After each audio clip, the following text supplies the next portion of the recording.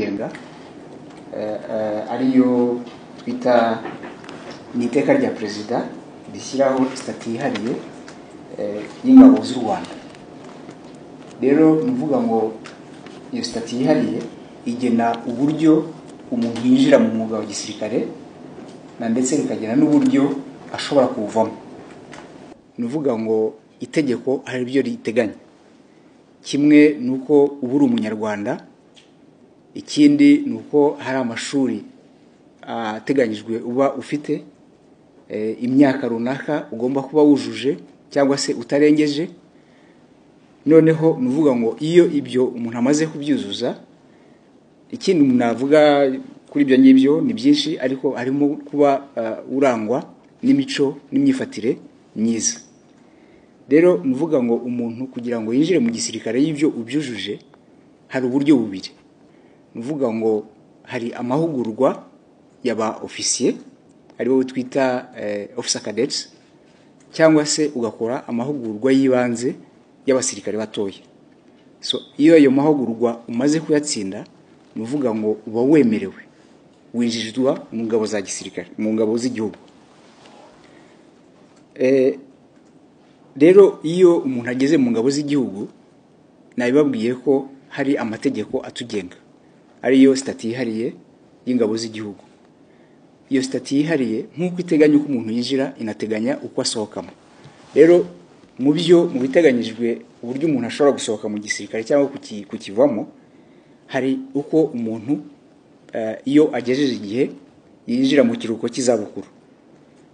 Indi buryo bwa kabiri ushobora gusohokamo ni uvuga ngo hari igihe amasezerano yawe arangira. Ni uvuga ngo urangije amasezerano yawe uba wemerewe gusohoka mu gisirikare. Ingingo ya gatatu cyangwa uburyo bwa gatatu umuntu ava mu gisirikare ni iseswa ry'amasezerano. Ari na cyo kimwe mu byiciro muri ibi ngibi muri aba ngaba baherutse kuva mu gisirikare. Rero iseswa ry'amasezerano mu gisirikare aseswa cyane cyane kubera ko umukoresha yabonye ko nta mpamvu yakomeza kuba akomeza kubahiriza amasezerano nawe cyane cyane biturutse ku myitwarire idahwitse. Ubundi buryo bwa kane hari igihe umuntu kubera impamvu zitandukanye ashobora gusaba kuva mu mwuga wa gisirikare. Ni ukuvuga ngo ni gusaba ukemererwa. Uburyo bwa gatanu ni ugukura mu kazi cyangwa se ibyo twita disicaje ahangaha cyane cyane ni ukuvuga ngo niyo umuntu ku mpamvu z'uburwayi atagishoboye gukomeza umwuga wa gisirikare. Impamvu yindi ikurikiraho ni ugusubizwa mu buzima busanzwe ibyo twita demobilization. Ni ukuvuga ngo hari igihe kigera iyo abantu bahamagawe ku murimo wa gisirikare noneho bagashobora no kuba bashobora gusubizwa mu buzima busanzwe. Indi mpamvu ya karindwi ni kugabanya umubare w'ingabo na byo ni uburyo bumwe abantu bashobora kuva mu gisirikare.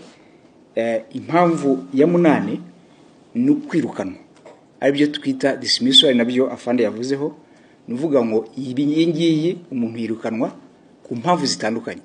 Ariko imwe ikomeye ni amakosa akomeye. Ni ukuvuga ngo ibyo twita gorosi misconduct. Ajyanye no kuba umuntu atarubahirije indangagaciro za gisirikare.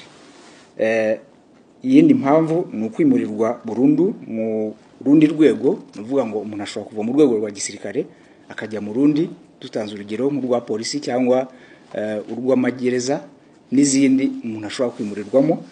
Hanyuma impamvu ya nyuma ni iyo kunyagwa amapeti. Ni ukuvuga ngo iyo umuntu yanyazwa amapeti icyo gihe ni ukuvuga ngo ntabwo aba akiri umusirikare. Akenshi ahangaha bikorwa n'inkiko rero ni ukuvuga ngo mu bigenga umwuga wa gisirikare nk'uko twavuze ko ari umwuga wihariye iyo umuntu hari ibyo atujuje ashobora gukurwa mu gisirikare n'ubuyobozi bw'ingabo.